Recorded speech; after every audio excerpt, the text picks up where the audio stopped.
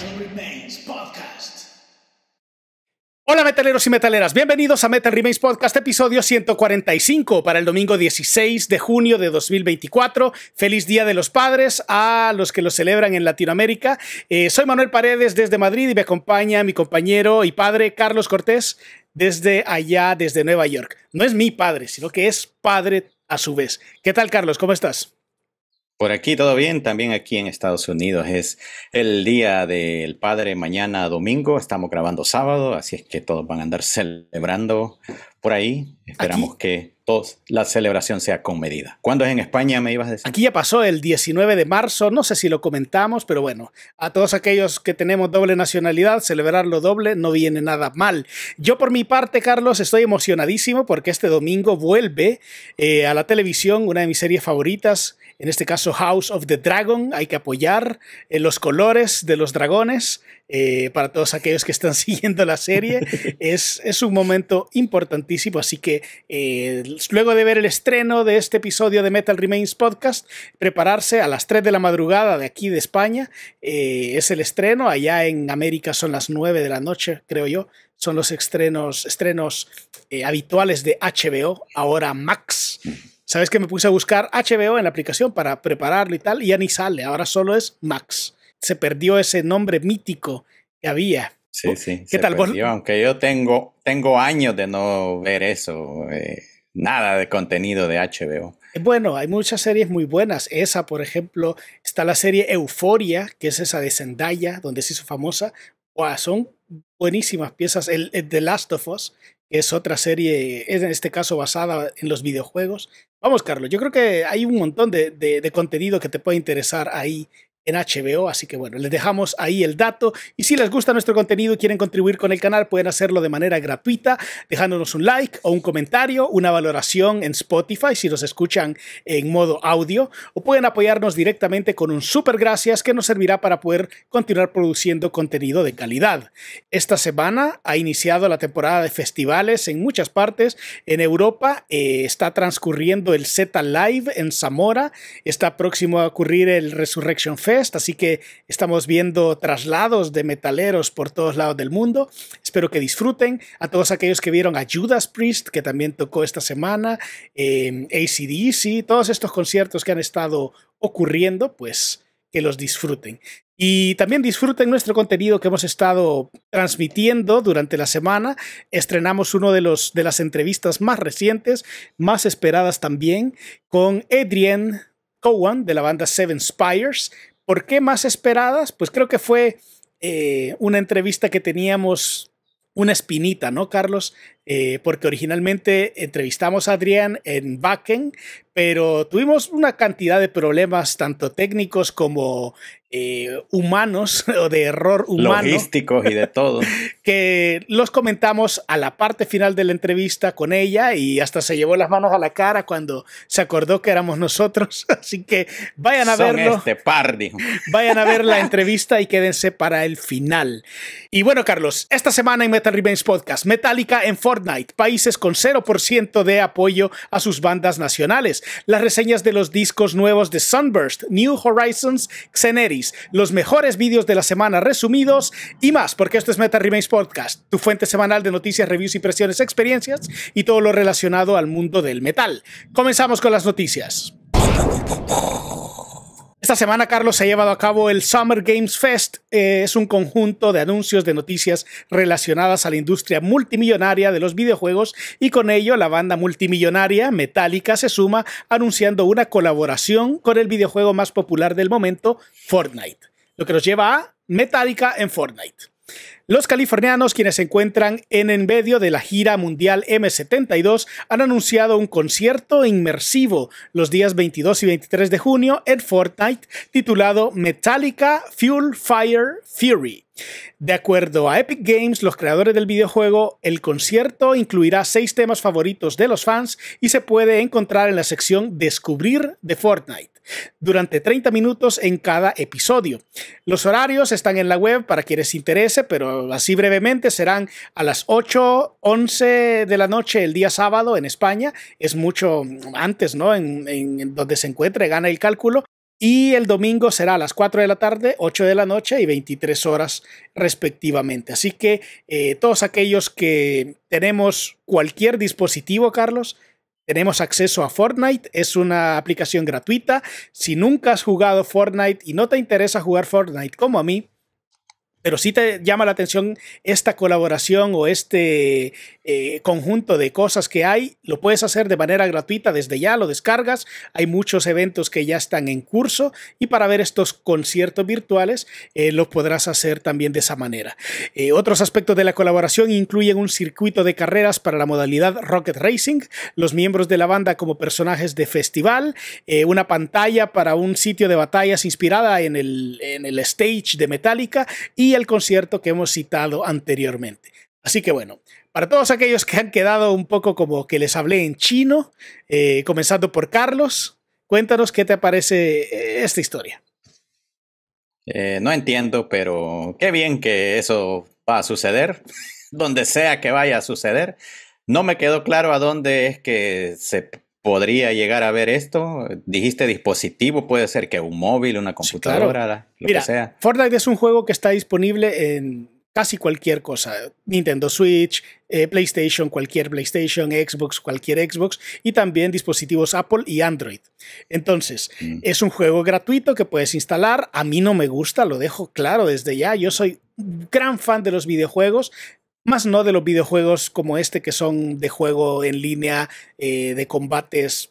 No sé, siento que eso ya no tengo edad ni tiempo para ello, pero eh, tomando en cuenta que esto es un evento que a los fans de Metallica les puede llamar la atención, pues lo traemos a cuento. Y también Metallica no es el único artista que ha participado de esta manera en Fortnite, pero sí es el primer artista que podríamos llamar metalero digamos. Han habido también artistas más mainstream como The Weeknd, Travis Scott, Ariana Grande, Eminem, eh, que han estado de una u otra manera y dando ese, ese concierto virtual, eh, que es algo que ya hemos visto también con Ozzy Osbourne, que lo intentó hacer en el Metaverse. No, no sé si te acordás de ese, ese capítulo raro de la, de la vida. Yo, en lo personal, lo, lo, voy a ver. Nunca había instalado Fortnite, pero esto me llama la atención lo suficiente como para hacerlo. Así que si les interesa, pues suscríbanse a nuestro canal. Si no lo han hecho, voy a estar transmitiendo alguno de los conciertos. Por si a ustedes no les interesa ni, ni siquiera instalar la aplicación de Fortnite, pero quieren ver, les interesa ver ese contenido, lo vamos a estar compartiendo por aquí en alguno de estos horarios.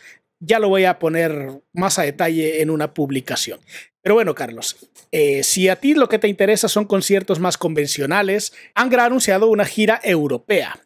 La gira titulada Cycles of Pain Europe Tour 2024, parte 2, que vaya nombre el que, el que tiene, ¿no? Bien breve y al grano, dará inicio el 25 de octubre en Lisboa y estará pasando por ciudades españolas los días 27, 28 y 29 de octubre en Sevilla, Vitoria y Barcelona respectivamente. Contará con la participación de los eh, invitados especiales Witherfall y Madzilla, que son los actos eh, openers que van a estar acompañándoles en la primera fase de, esta carrera, ¿no?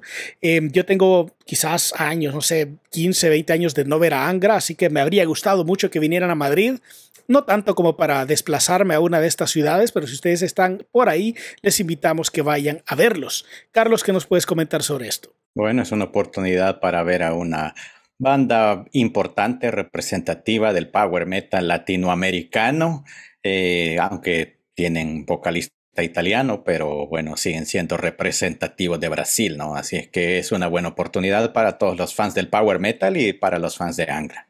Para todos aquellos que estamos en Madrid y queremos algún em, contacto con la música metal latinoamericana, tenemos una banda proveniente de nuestro país, El Salvador, que se llama Trash Grinder, quienes estarán eh, visitando varias ciudades españolas en una mini gira. El día 25 de julio en Madrid, en la Sala Barracuda, 26 de julio en Barcelona, en la Sala Burning Rock, 27 en Alicante, en Bunker Bar, el 28 en Ámsterdam y luego se van a Alemania y Finlandia que es el hogar o la, sede del, vocalista, amigo del canal, amigo nuestro, que se llama eh, Rodrigo Fatality, uno de los personajes ¿no? legendarios de la música metal allá en nuestro país, El Salvador. Así que este es un proyecto. Rodrigo. Saludos.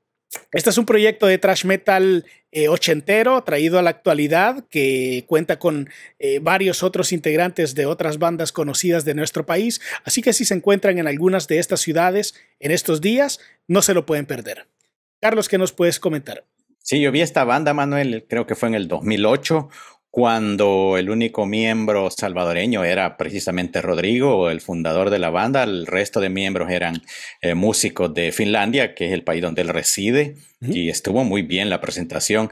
Tú tocaste con tu banda también ese día en ese festival, en un open air, el Mascab Open Air. Fue un festival, vamos, masivo para nuestros estándares allá en El Salvador, en un lugar bastante amplio, bastante bonito. No había camping, o, no, no recuerdo si hubo camping. Creo que ahí la gente se quedó a desvelarse hasta la mañana y luego siguieron conciertos. Yo me fui a dormir un rato en el carro, ahí fui a dormirme tal vez unas dos horas y luego a reincorporarme porque fue una cosa que fue 24 horas, no me acuerdo. Eh, pero fue una larga, larga jornada. Fueron dos, fueron dos días. Todo el día y toda la noche. Fueron dos días, pero no hubo, o sea, la gente se quedó a lo, como llamamos allá, a los Ranger, o sea, em, donde fuese, como fuese. Yo afortunadamente vivía muy cerca de ahí, Así que nada, les queda la invitación para que vean a Trash Grinder aquí en España. Y ahora, hablando de metal latinoamericano, Carlos, em, tenemos un tema que es bastante... A mí me pareció bastante interesante. Pasaremos a lo que sería el tema del show. Esta semana un estudio que ha hecho las rondas por redes sociales ha creado una acalorada discusión entre muchos usuarios y es en referencia al nivel de apoyo que cada país latinoamericano da a sus artistas países latinoamericanos con 0% de apoyo a sus artistas nacionales. De acuerdo a un estudio realizado por Francisco Suárez Salas del sitio web ideasylibros.com, que ha sido traído a nuestra atención gracias a una publicación del youtuber salvadoreño informativo Billy Valiente, la mayoría de países latinoamericanos reflejan porcentajes de reproducción de música nacional sumamente bajos.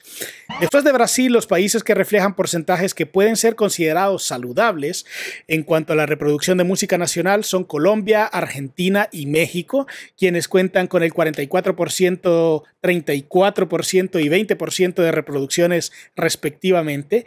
Em, luego de eso va en picada la gráfica, de manera que muchos países ni siquiera alcanzan el 1%.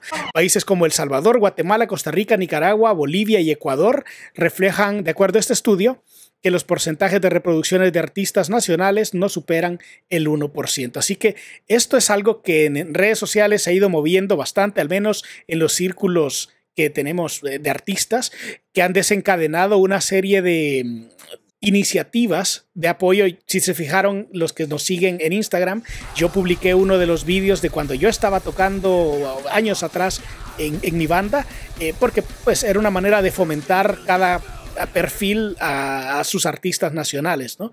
Y da tristeza, ¿no, Carlos? Porque eh, habiendo tantas y tantas bandas que están haciendo un muy buen trabajo cada día y cada año superando sus esfuerzos previos, es una pena que este trabajo se vea reflejado de esta manera.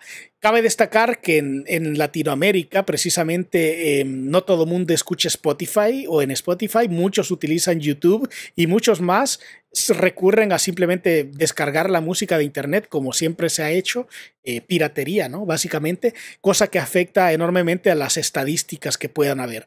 Pero si se trata de lo que miran los promotores de conciertos, lo que miran las bandas a nivel internacional y lo que miran agentes, disqueras y quien sea que pueda em, interesarse por una banda de un país cualquiera, em, es esto, es esta estadística em, que ha sido tomada, según vemos en la gráfica, a base de Spotify Charts y musicbrains.org. Así que hay que decirlo, esto no es información oficial, nosotros no hemos sacado esta gráfica, simplemente lo traigo a mención porque gracias a esto han habido varias iniciativas de músicos que se están manifestando para que se sepa, ¿no? Que están ahí que hay que apoyarles y que estas bandas pues necesitan de cada uno de los fans que se manifiesten de alguna manera. Ahora, Carlos, como latinoamericanos sabemos que aunque estas cifras no sean unas cifras exactas, eh, concuerdan con lo que tenemos de noción. Esto es lo que a mí lastimosamente me cuadra, digamos. ¿Qué me puedes decir tú? Sí, yo tengo la misma percepción. Cuando vivíamos en El Salvador, eh, creo que esto era el día a día, saber de que los artistas nacionales siempre eran los que tenían menos promoción. Por ejemplo, en los medios como la radio o la televisión, había algún esfuerzo en algunos eh, medios como para impulsar el talento nacional con tal vez programas especiales bastante específicos para dar el apoyo, eh, pero siempre en, en el medio lo que más suena o lo que más se ve o lo que más arrastre tiene son los artistas internacionales. Aquí hay un montón de cosas que tienen que ver con este fenómeno, digámoslo así, porque creo que también depende del país. Si ves Brasil es un país grandísimo con muchísima más población y la barrera del idioma creo que afecta mucho, porque ellos, pues al final de cuentas, son bastante entregados a su, a su lengua y eso se refleja pues, con creces en la gráfica.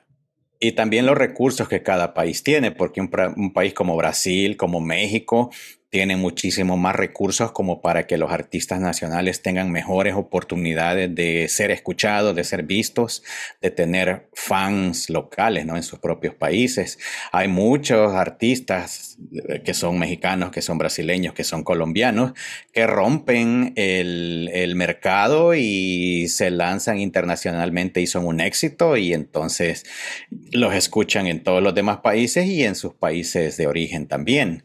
Eso es algo también a tomar en cuenta. En cambio, estamos hablando de un país de Centroamérica. Hay artistas que tal vez logran tener eh, algún tipo de inmersión en el mercado internacional, pero es bien difícil, ¿no? Escuchar o recordar algún nombre que se te venga a la mente de un artista guatemalteco. Ricardo Arjona es el que, digamos, la la ha roto.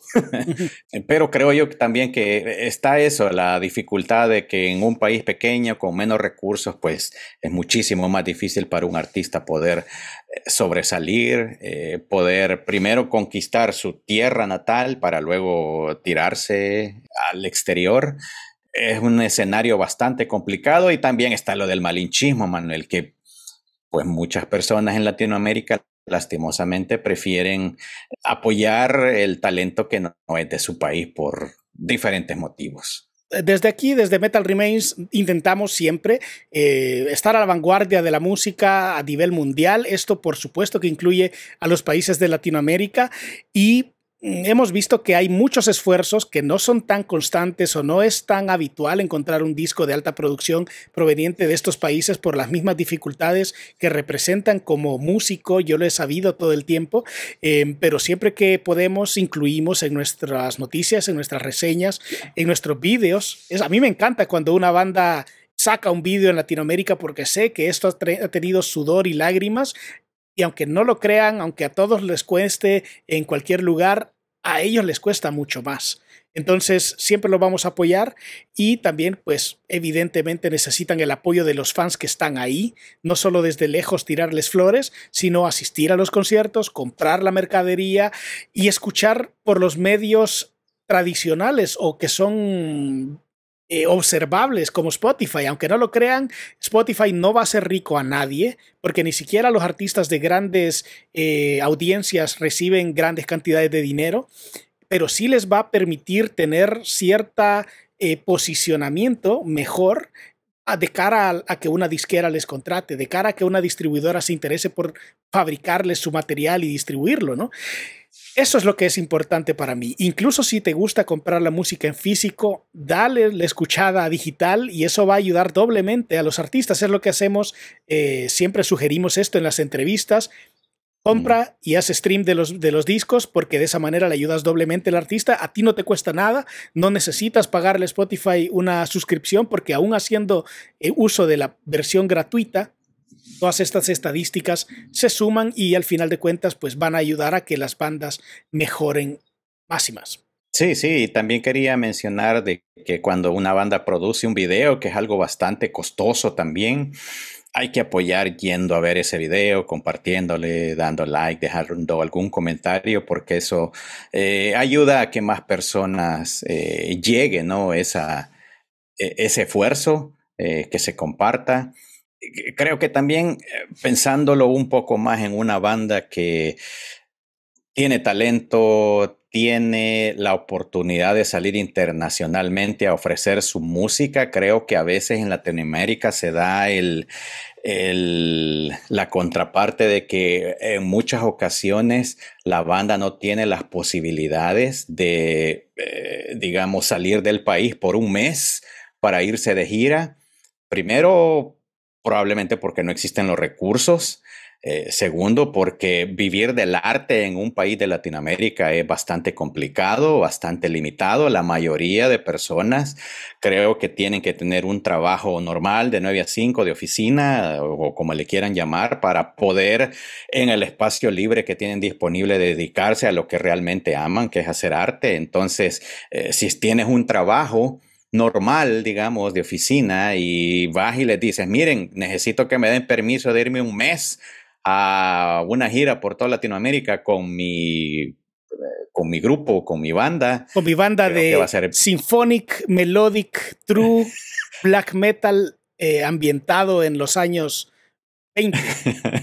Creo que va a ser bien difícil que el empleador diga, ah, sí, claro que sí, andate sin problema y cuando regreses aquí va a estar eh, tu puesto laboral esperándote. Creo que también eso es una contraparte de peso. Eh, Así es que son un montón de cosas, ¿no? Las que están aquí en juego para que lastimosamente este escenario sea de la manera que es. Pero Carlos, para que en Latinoamérica cada uno de los artistas nacionales reciban el apoyo que merecen, lastimosamente falta mucho tiempo.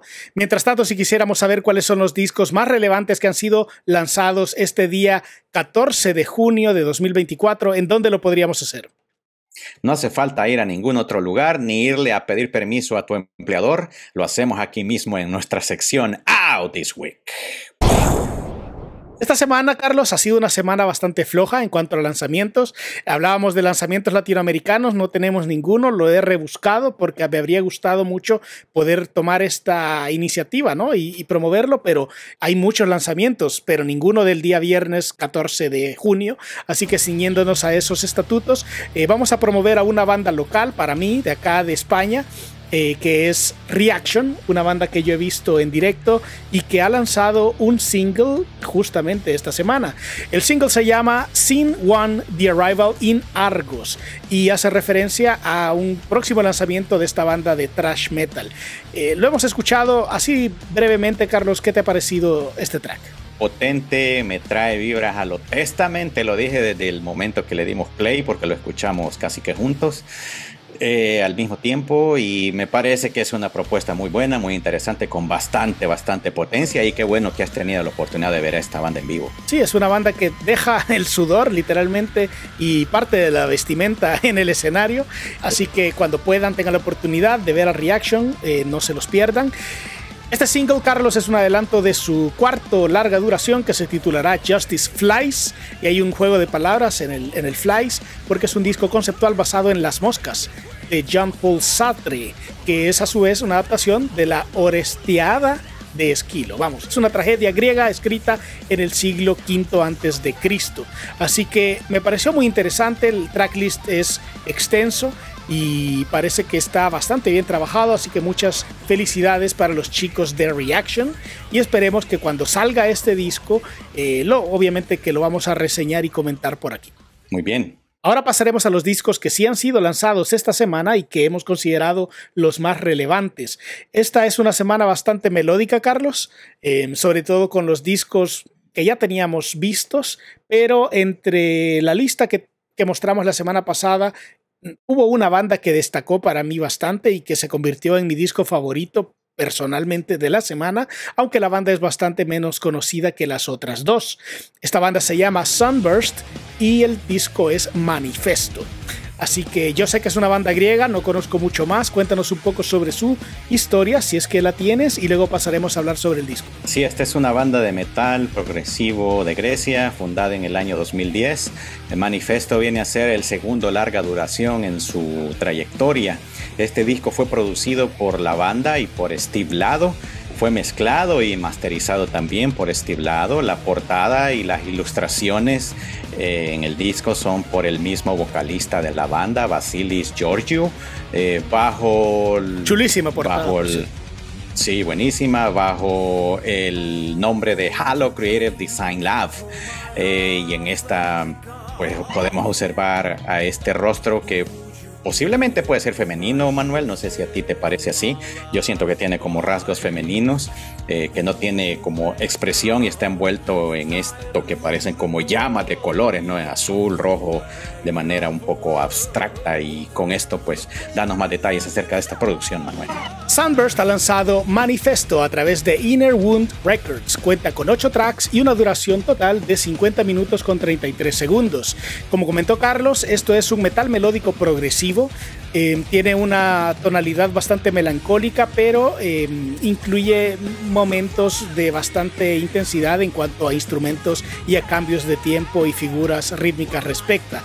Em, escuchando los otros dos discos que tenemos, que son bastante más straightforward, digamos, o que son bastante más directos en su, en su propuesta. Este resulta ser, a mi parecer, bastante más interesante, puesto que se permite cierta experimentación y un sonido bastante moderno que a mí me encanta, el tono de las guitarras, toda la mezcla de las baterías y demás. Me, parece un disco consecuente con los años, ¿no? 2024 y está llevando al máximo los niveles de producción en cuanto a sonido respecta. Em, canciones que destacaron para mí es el track número 3, Samaritan, me parece exquisito, hay una, un juego ahí de ritmos muy muy impresionante y pues no sé, la canción titular Manifesto también, eh, aunque a mi parecer el anterior es mejor. Cuéntanos Carlos, ¿qué te ha parecido a ti este disco? Sí, concuerdo en que este álbum definitivamente tiene una muy buena producción, se pueden apreciar las capas de cada instrumento de manera clara, de manera limpia, las composiciones son muy robustas y con el nivel de complejidad que demanda el género progresivo. Esta es una sólida ofrenda con buenas estructuras y arreglos que están muy bien estructurados, tiene potencia, tiene buena dinámica. Si son fans de bandas como Angra, Dream Theater, Symphony X, creo que este es un álbum que deberían de escuchar y cuando lo hagan, dejen en los comentarios qué les ha parecido, los leemos. Ahora, Carlos, el siguiente disco del cual vamos a hablar tiene cierta más fama, a mi parecer, eh, de una banda que está lanzando eh, un segundo larga duración, se llama New Horizon. Em, ya nos hablará sobre la personalidad más reconocible de esta banda eh, con su disco Conquerors. Háblanos un poco sobre la biografía de New Horizon y luego hablaremos sobre el disco. Sí, este es un proyecto de power metal sueco, se formó en el año 2021. Este proyecto fue originalmente fundado por dos personajes, John T de la banda Hit quien está a cargo de todos los instrumentos, y Eric, Eric Gronwall en la voz, eh, y juntos grabaron su álbum debut en el 2022. Luego Eric Gronwall, el vocalista, abandona el proyecto para convertirse en el nuevo vocalista de Skid Row, banda en la cual tampoco ya no está, ya no forma parte de ella por problemas de salud. Y debido a esto es que su nuevo actual vocalista, Nils Molin, llega a la banda y quien es reconocidísimo por ser vocalista de las bandas Amaranth y Dynasty. Así es como llegó pues a este proyecto para reemplazar a Gronwall y con esta nueva alianza se lanza Conquerors que viene a ser el segundo álbum de este proyecto. En la portada del álbum se puede ver una figura humana con un atuendo así como del Imperio Romano y al fondo se ve la imagen del actual Coliseo Romano en ruinas a la derecha y a la izquierda vemos una plataforma con un cohete despegando con un destino a la luna probablemente porque ahí podemos ver a la luna también en la portada. Y con esto Manuel, danos más detalles acerca de esta producción. New Horizon ha lanzado Conquerors a través de Frontiers Records, cuenta con 10 tracks y una duración total de 51 minutos con 59 segundos. Vamos, 52 aproximadamente. Em, esto es un disco que a mí en lo personal no me emocionaba demasiado cuando eh, se postulaba como el disco más famoso o reconocible de la lista anterior. Em, tampoco los singles que se, que se liberaron previamente fueron muy exitosos en cuanto a, que, a crear expectativa en mí. Así que casi era un disco que cualquier otra semana no habría incluido en, la, en la, lista, pero bueno, esta semana sí que ha sido, ha terminado siendo de lo más relevante. Em, a mi parecer, este es un sonido como un power metal bastante tenue o bastante tímido. Em, cuenta con algunos momentos de creatividad interesantes, pero son esparcidos a lo largo del disco.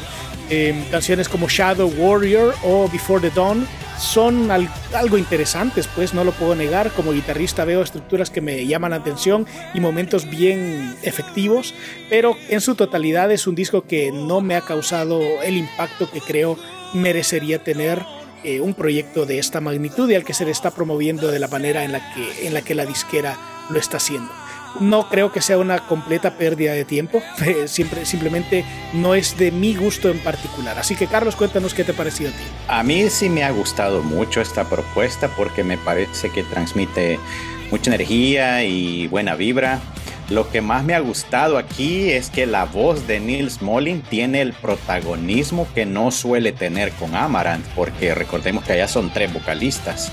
Eh, y aquí él es el centro de la atención y por ello se puede apreciar y disfrutar su calidad vocal que es de altísimo nivel, es muy potente. Uno a uno los temas tienen esta potencia y uno de mis favoritos es el titulado King of Kings que es pues inspirado en Jesucristo y de hecho el disco se presenta como una antología temática que profundiza en momentos, eh, diferentes momentos de la historia y personajes notables ¿no? que han estado en esos momentos importantes. Por ejemplo, en el tema Daimyo, es dedicado a un japonés que se llama Oda o se llamó Oda Nabunaga, quien se dio a la tarea de unificar al Japón feudal del siglo XVI. Por otro lado, en el tema que es así como una balada titulado Before the Dawn, colabora Elise Reed de Amaranth, porque pues obviamente eh, tiene ese contacto ¿no? con, con Nils. Eh, y para cerrar el disco tenemos el, el, cover Alexander the Great, que ya todos saben de quién es original, no se lo voy a venir a contar yo, eh, que es, está muy bien, está bien hecho el cover.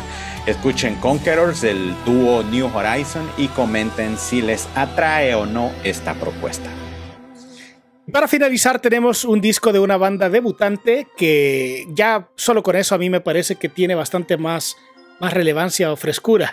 Eh, hablamos de Xeneris con Eternal Rising, una banda de la cual hemos venido hablando en las semanas anteriores debido a los singles que han lanzado. Carlos nos va a contar toda esta historia a continuación. Sí, esta es una banda de power metal italiano. Eternal Rising es el álbum debut de Xeneris. Eh, la banda se formó en diciembre del 2022 luego de la disolución de la banda Calidia cuando esta se disolvió, nacieron eh, pues dos bandas de esta separación. Por un lado, la vocalista Nicoletta Rossellini y el batería Dario Gossi se van a formar Alterium. Y por el otro lado, Federico Paolini, eh, que es el guitarrista, y Roberto Donati, bajista, forman esta banda que se llama Ceneris y traen a Mariana Lacona en la voz y a Stefano Livieri en la batería para completar la alineación. Creo que después de conocer estos detalles tendrá sentido que la portada de este álbum debut presente al ave fénix como símbolo de renacimiento, de resurgir del algo que murió previamente, ¿no? Y con esto Manuel nos va a dar más detalles acerca de esta producción. Teneris ha lanzado Eternal Rising a través de Frontiers Records, cuenta con 11 tracks y una duración total de 47 minutos con 45 segundos.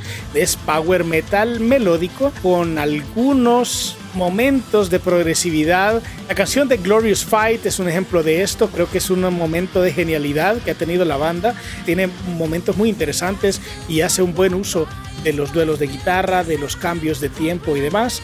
Eh, el resto de las tracks son bastante más convencionales.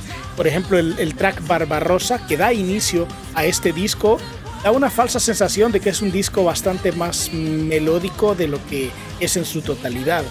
En cuanto a la voz que tenemos en el disco de su vocalista, creo yo que es bastante eh, estándar. Es una voz que apunta al rock clásico o al hard rock en lugar de ser una voz de power metal con esos eh, altos, altísimos o que utilice algún tipo de distorsión vocal al hacer quiebres de voz. Eh, en este caso tenemos una voz bastante modulada, bastante embellecida, em, pero también que se mantiene en un rango corto. Para la mayoría de canciones es bastante efectivo, pero que a mí me habría gustado ver algún tipo más de, de dinamismo para, no sé, llevar a algún tipo de clímax en alguna de las canciones. Creo que eso es algo que no encontré, o al menos en las escuchas que le di, que fueron varias, no pude determinar. Sin embargo, creo que es una muy buena propuesta para una banda debutante. Em, es un disco que merece la pena escuchar y que merece la pena poner atención a esta banda, que estoy seguro que estarán dándonos su mejor esfuerzo con su próximo trabajo. Carlos, ¿qué nos cuentas sobre Eternal Rising? Sí, a mí me parece que el disco incorpora algunos elementos sinfónicos y árabes para ofrecer variedad a las composiciones, pero creo que no logra tener el impacto necesario al escucharlo, se puede llegar a sentir a veces eh, genérico y creo que hay varias cosas que le juegan en contra como por ejemplo la similitud en las voces con la de Nicoletta Rossellini y el hecho de que el disco de Alterium haya salido con varios meses de anticipación a este tampoco creo que le beneficia. Y sin más que decir sobre el álbum debut de esta banda, pues solo nos resta que ustedes lo escuchen y saquen sus propias conclusiones sobre esta ofrenda debutante sí que será un disco que va a ser inevitablemente comparado con el Delterium. Y el Delterium, saliendo ya del review, eh, creo yo que a mí me parece bastante más completo, más ambicioso, eh, con una personalidad más palpable, es lo que quiero decir. Eh, de hecho, recuerdo que uno de los comentarios que hicimos sobre el vídeo de Barbarossa, que era tipo pirata, era que era, a ver, habían pirateado la imagen a Visions of Atlantis. Y creo yo que es una banda que se, se comprende que al ser su primer esfuerzo como Xeneris, em, tiene muchas cosas más que incluir a esa propuesta y yo estoy seguro que con el tiempo lo van a conseguir. Así que ahí les dejamos esas tres recomendaciones para que escuchen durante esta semana y pasaremos a mencionar cuáles son los vídeos que disfrutamos en la sección Videos Out This Week. Comenzamos con la banda Mechanic Tyrants y su canción Speed Metal Guerrilla. Esta es una canción buenísima, Carlos, y cuéntanos cuál podría ser una manera breve de resumirla. Grupo de paramilitares defienden a los inocentes y los rescatan de las garras del poserismo. Esta es una banda que se aferra a los ideales del true speed metal en un sonido bastante familiar, digamos, para los que disfrutamos de este tipo de música y una energía bien contagiosa. Me gustó un montón. ¿Qué te pareció a ti? Buenísimo track, muy enérgico, muy a lo que metálica, muy a lo berserk también. Así que me ha gustado, me ha gustado mucho. El siguiente video que vimos es de una banda que sí originó en esos entonces, Armored Saint, con la canción One Chain. Si pudieras resumirlo en una frase, ¿cómo sería? Ejecutivos de negocios deciden recordar viejos tiempos ensayando en una tienda de antigüedades. Yo me imaginé que eran como ejecutivos de Wall Street que luego de, trabajar se van a recordar ahí sus, sus tiempos mozos. El sonido de la banda, pues es Armored Saint, conservan esa energía que les caracteriza. A mí me parece muy black, espero que su disco que van a sacar esté muy bien también. ¿Qué te parece a ti? Buen tema, buena energía, eh, pues la voz de John Bush creo que siempre llama mucho la atención. Y ah, una cosa que yo no sabía es que este personaje pudo haber llegado a ser vocalista de Metallica, pero nunca fue convocado, así es que es, eh, algo interesante conocer ese detalle. También tuvo que ver con Anthrax, ¿no? Sí, estuvo en Anthrax y grabó, no me acuerdo si uno o dos discos con Anthrax. Con esto pasaremos al siguiente vídeo que vimos con un sonido bastante más moderno, la banda All That Remains y la canción Let You Go. No era Let It Go de Frozen, no, es Let You Go. Carlos, si pudieras resumirlo en una frase, ¿cómo sería? Curioso del BDSM, descubre que su cita de Tinder es la chica de sus sueños los peores de sus sueños. Y en este podemos ver a esta pareja que llega a una especie de, no sé, apartamento y las cosas se ponen picantes, pero quizás van más allá de lo que esperaba este pobre chico. Les invitamos que vayan a verlo. Echan chispas. El sonido de la, de la banda está espectacular. Eso es algo que a mí me, fascinó. Así que nada, les invitamos que no, no se pierdan este video. El siguiente vídeo que escuchamos también tiene un sonido bastante intenso, Carlos, y es la banda Bleed From Within con la canción Hands of Sin. En este podemos ver eh, ciertas figuras que están como intercambiando caricias y demás. Si pudieras resumirlo en una frase, ¿cómo sería? Fans del cuidado de la piel se aplican una extraña mascarilla facial. Y siguiendo el tema de los tratamientos de belleza, en el siguiente vídeo que tenemos es Flesh Code Apocalypse con Blood Clock. Tenemos a un chico que está tomando un baño de sangre. Eh, otra canción bastante intensa. ¿Qué nos puedes decir sobre este track?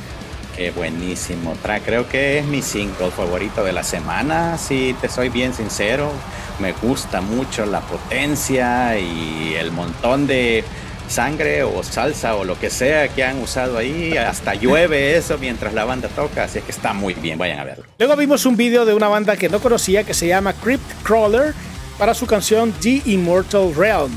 Este es un video sencillo, está la banda tocando en un espacio, un estudio de grabación con unas luces de LED. Eh, ¿Qué te ha parecido el sonido de esta banda? Eh, interesante, me gusta mucho cómo entra el track y tiene bastante potencia. La siguiente banda que escuchamos, la siguiente banda que traemos es para finalizar este conteo, una banda que está volviendo literalmente de la muerte, es The Black Dahlia Murder con la canción Aftermath, en el cual podemos ver eh, a su vocalista nuevo, ¿no? que está sustituyendo al fallecido Trevor Strad. Carlos, ¿qué te pareció este retorno de, de Black Dahlia Murder? Me parece muy bien, buen sonido, buena propuesta. Aquí eh, Brian es el que era guitarrista de la banda, ahora con funciones de vocalista y creo que lo está haciendo bien. Esperemos que la recepción en el público también sea positiva porque creo que la banda quiere continuar eh, el legado ¿no? que dejó su, su anterior líder, así que esperemos que así sea y con justa causa. Lo están haciendo espectacularmente. Cuéntenos cuál ha sido su video favorito de esta semana. Por ahora pasaremos a mencionar cuáles son los discos que serán lanzados la próxima semana y que seguramente estemos reseñando en nuestro segmento Upcoming Releases. Carlos, la próxima semana tenemos una lista más interesante que la de esta, si te soy sincero. El día 19 de junio tenemos a Atavistia con Inane Duncan, es un EP. Luego tenemos el día 21 los siguientes lanzamientos. Alcest, Les Chants de L'Aurore. Seven Spires, A Fortress Called Home, un disco que ya escuchamos que para mí es de los mejores discos del año. Ahí se los dejo. Luego entramos en detalles la otra semana. Tenemos a The Ghost Next Door, Classic Songs About Death and Dismemberment. Un clásico familiar, ¿no? Ese, ese nombre de ese, de ese, disco. Para una cena así bien relajante. Para, para cuando vienen los abuelos a, a disfrutar de, de, la Navidad, algo así. También tenemos otro disco de abuelos, Cavalera Conspiracy, con la regrabación de Esquizofrenia. Este es un disco que no tenemos, pero que vamos a intentar conseguir. Y si no, de todas maneras, yo creo que voy a, lo que voy a hacer es escuchar este disco en su versión original de Sepultura para ver cómo es y estar familiarizado para cuando salga la regrabación, eh, tener un punto de referencia. Porque con lo que pasó con los discos anteriores, Bestial Devastation y no sé qué otro, ahí sí no tenía yo ningún punto de referencia y para mí fue, ah, trash, bueno, tráiganlo para acá. Luego tenemos a una banda que nos gustó mucho su disco anterior, según recuerdo, es Hyperdontia con Harvest of Malevolence. A Inherits the Void con Scars of Yesteryear y otro disco que es de los más esperados en estas últimas semanas, Kitty con Fire, una banda que ha a mí me ha demostrado mucha garra y que más que Kitty creo que se deberían de llamar Tiger o algo así más, más intenso. Eh, no sé, no sé a, ti qué te ha parecido. Pero bueno, ¿cuál de estos discos son los que a ti más te llaman la atención? De entrada, el de Seven Spires. Eh, concuerdo con Manuel de que es un disco súper intenso. Creo que tiene todo el potencial para poder ser candidato a disco del año. Eh, también, obviamente, la regrabación de la esquizofrenia eh, de Cavalera Conspiracy me llama mucho la atención. Eh, a mí me gusta mucho cómo quedó grabado originalmente la esquizofrenia. Lo disfruto mucho, lo disfruté mucho cuando lo escuché las primeras veces en aquellos abriles. y con el sonido mejorado, pues es obvio que creo que lo voy a disfrutar todavía más. el de Kitty, también es otro disco que llama mucho, mucho la atención, va a tener un gran arrastre y estamos seguros que este disco de Kitty, por todos lados, en todos los medios y en todos lados te lo vas a encontrar, eh, que está hablando la gente del, del álbum de Kitty, eh, porque es una banda muy importante de mucho peso. Esos tres para mí son los, los de rigor para la próxima semana. Pues ahí los tienen. Yo no llamaría candidato a mejor disco del año Seven Spires a Fortress Called Home, simplemente porque sigue siendo una banda bastante desconocida, al menos en el, la majestuosidad o la grandiosidad del espectro metalero.